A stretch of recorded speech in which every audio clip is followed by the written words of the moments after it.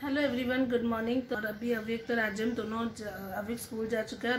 तो अभी अव्यक्त को मैं जाऊँगी लेने इलेवन थर्टी उससे पहले थोड़ा भी टाइम है तो मैं क्या करी थी, काफ़ी दिनों से सोची थी कबर्ड ऑर्गेनाइज करने का, क्योंकि मतलब एक या दो महीने बाद ऐसा होता ही है कि वो ऊपर नीचे कपड़े करते करते ख़राब हो ही जाता है।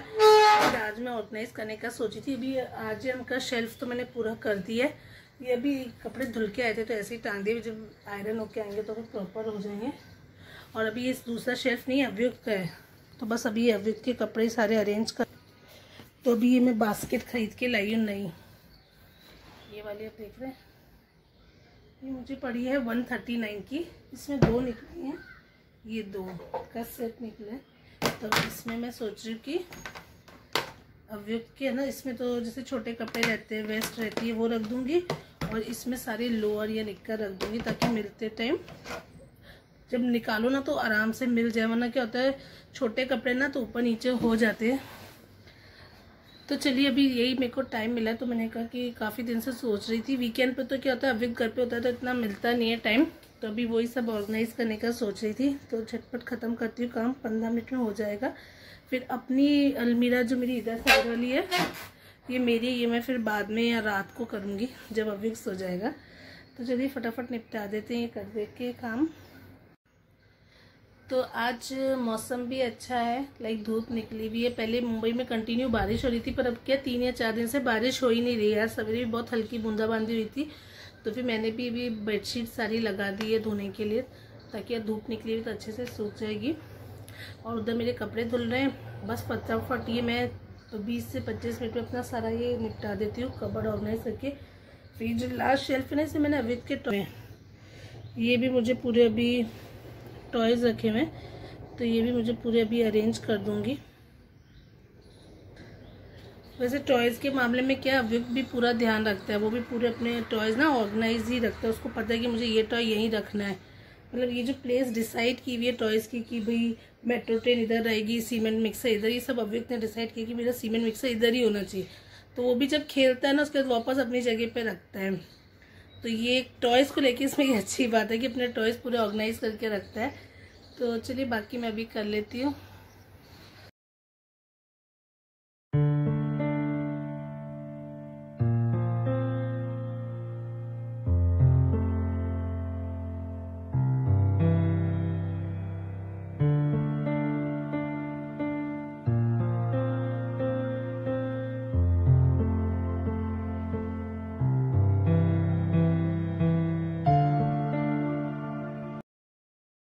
तो अभी आज से मार्केट गए थे तो वहाँ से पाइन लेके आए थे। तो वो मैंने अभी कट किया है और अभी ना यहाँ पे मार्केट में, मुंबई में पाइन आ रहे हैं काफ़ी।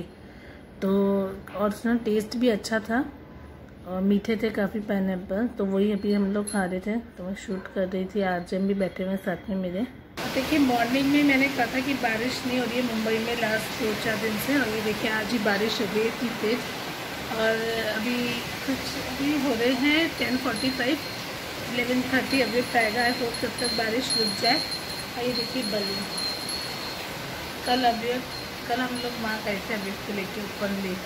हमारे घर के नज़दीक है थाने वेस्ट में ऊपर लेक। जो भी मुंबई में थाने में रहते होंगे, उनको पता होगा। तो वहाँ से अभी ये टेडी बलून आए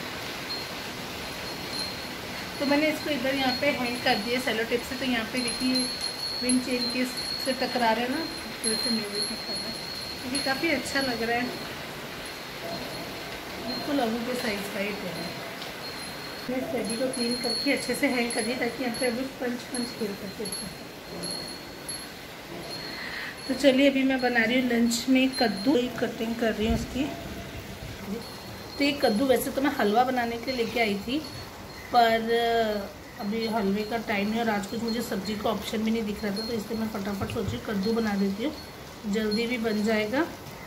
और साथ में थोड़ी सी दाल बना दूँगी जी सूखी सब्ज़ी ना तो फिर दाल का कॉम्बिनेशन अच्छा लगेगा। तो मैं अभी फटाफट कद्दू कर लेती हूँ। मुझे ना ये कद्दू को काटना बिल्कुल पसंद नहीं आता है। मुझे कद्दू की सब्ज़ी पसंद है, इसका हलवा पसंद है। वैसे भी खाने में मुझे अच्छा लगता है कद्दू। बट ये मुझे इसको ना छीलना, ये और अरबी, ये दो मुझे पसंद नहीं आते इनको कटवट करना। तो चलिए जल्दी से मैं एक सब्ज़ी चढ़ा लेती हूँ।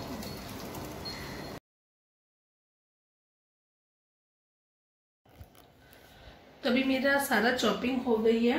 तभी जैसे कि कद्दू की सूखी सब्ज़ी तो मैंने पहले भी आपको बताया कि सारी सूखी सब्ज़ियाँ हम लोग सरसों के तेल में बनाते हैं। और सरसों का तेल मेरा बहुत अच्छे से गर्म हो गया है। देखिए, मेरा सरसों का तेल काफ़ी अच्छे से गर्म हो गया है। कद्दू की सब्ज़ी में ना इसका टेस्ट सबसे अच्छा आता है, ये है मेथी दाना। तो कद्दू की सब्ज़ी में मेथी दाने का और कड़ी में, इन दो में मेथी डालना बहुत ही अच्छा रहता है। मतलब इसी से सारी खुशबू आती है और टेस्ट आता है। तो चलिए, अभी स्टार्ट करती हूँ। मेरा ऑयल अच्छे से हो गया इधर मैंने कद्दू वॉश करके रख लिया और इधर मेरी, इधर मैंने कद्दू धो लिया अपना, धो के रख लिया और इधर मैंने प्याज काट लिया है, बारीक बारीक अपना जो भी रहता है। तो ये देखिए, हो गया। मैं इसमें थोड़ा सा अजवाइन डाल दूँगी पहले, फिर मेथी दाना।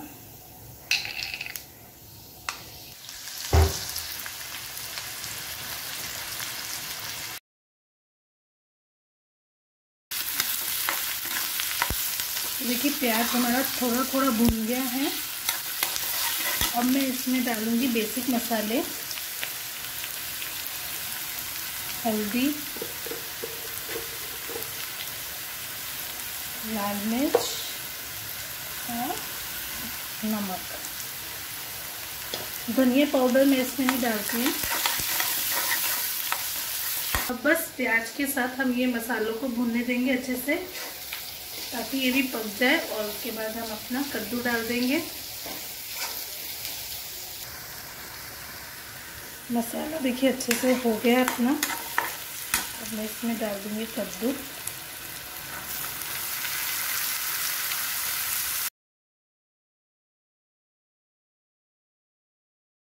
बस अब हम इसको कवर करके पकने देंगे लो गैस पे। तो अब बस मैंने लो फ्लेम पे इसको पकने दूँगी। कद्दू को मैंने कवर कर दिया तो इस कद्दू की सब्ज़ी में हम कुछ भी पानी ऐड नहीं करेंगे। ये अपने आप ही स्टीम में पकने देंगे तो इससे इसका टेस्ट अच्छा आता है। और ये भी अराउंड 20 मिनट ले लेगी। तो तब तक ये सॉफ्ट हो जाएँगे, उसके बाद मैं इसको मैश कर दूँगी। कद्दू को तो हमारे कद्दू की सब्ज़ी रेडी हो जाएगी। और चलिए तब तक मैं आटा गूंद लेती हूँ, क्योंकि फिर अभी भी अब आने वाला है। और बारिश भी अभी रुक गई है, सबसे अच्छी बात है। और आज क्या है, आज हम घर पे ही हैं। कल संडे था तो वो ऑफ़िस गए थे तो आज वो घर पे ही हैं, आज हम आज। तो इसलिए आज मैं थोड़ी फ्री हूँ। लाइक इतना थोड़ा लेट लेट काम चल रहा है। आ, तो अभी अभी को लेने आज ही जाएँगे। तो तब तक मैं आटा गूंद देती हूँ। फिर अभी आएगा तो फिर हम सब लंच कर लेंगे। तो चलिए आटा गूंद देती हूँ पहले मैं। फिर मिलती हूँ आप लोगों से। तो अभी बस मैंने आटा गूंद लिया है और थोड़ा सा कद्दू का और सॉफ्ट होने का वेट कर रही हूँ। उसके बाद मैं उसको मैश कर दूँगी अच्छे से तो हमारी रेडी हो जाएगी सब्ज़ी। आजकल की और आजकल क्या है, यहाँ पे काफ़ी पाइन आया हुआ है। मतलब आपको देखिएगा हर काफ़ी ज़्यादा आया हुआ है। तो देखिए, आजकल हम भी लेके आ रहे हैं तो यहाँ पे आज हमने ना ऐसे रखा हुआ है इसको, ताकि हम सोसाइटी में मतलब गमले में तो लग नहीं सकता, घर में तो पॉसिबल नहीं है। तो बाहर जाके ना, नीचे हमारी सोसाइटी के गार्डन है, वहाँ पे ना काफ़ी पेड़ पौधे लगे और यहाँ तो कोकोनट का वैसे ही बहुत ज़्यादा लगता है। तो हमने सोचा वहाँ पे पाइन का लगाएँगे, और हमारे ऑलरेडी घर में भी एक लगा है, दिख, ये देखिए ये वाला। थोड़ा वो हुआ हुआ है, मिट्टी लगी हुई है, क्योंकि बारिश की वजह से पानी डालते तो देखिए कितना बड़ा हो गया ये कोकोनट का, और ये हमारा हल्दी का है, कच्ची हल्दी का। तो ये देखिए कितना बड़ा हो गया है। तो मैं सोचे कि ना अव्यक्त के तो मैं सोचे कि ये वाला जो है, जो पाइन का बड़ा हुआ है पौधा तो अभी गमले में इतना रह नहीं सकता है तो अभी इसको ज़मीन में लगाना पड़ेगा। तो मैं सोचूँ कि इसके मतलब आज और मैंने दोनों ने सोचा है कि हम इसके स्कूल में दिए आते हैं वेद के। क्योंकि वहाँ पे भी प्रॉपर गार्डन है और है। तो इसलिए हम सोचे इसके स्कूल में दे देंगे। या फिर स्कूल में यदि पॉसिबल नहीं हुआ टाइम नहीं मिला इतना तो फिर हम यहाँ सोसाइटी में लगा देंगे ये वाला भी। जो भी रहेगा आपके साथ शेयर करेंगे। तो काफ़ी अच्छा बड़ा हो गया ये वाला तो पाइन का। और अभी आज हम जा रहे हैं अवृत को लेने के लिए स्कूल। ऑलमोस्ट हो गया टाइम ये देखिए सब्ज़ी हमारी सॉफ्ट हो गई है। मैं इसको मैश कर लूँगी।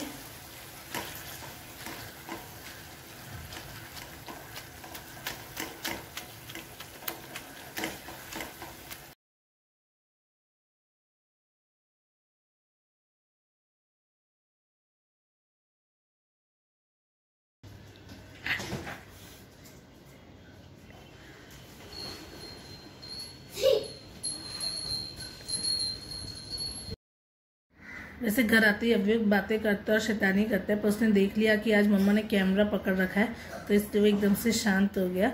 और फिर वो सीधा अपने वही बलून के पास गया था और खेलने लग गया था उसके साथ। और बस उसके बाद हम लोगों ने लंच किया था, उसके बाद पूरे दिन में इतना कुछ खास नहीं हुआ था, अभी शाम को पार्क में खेलने गया था।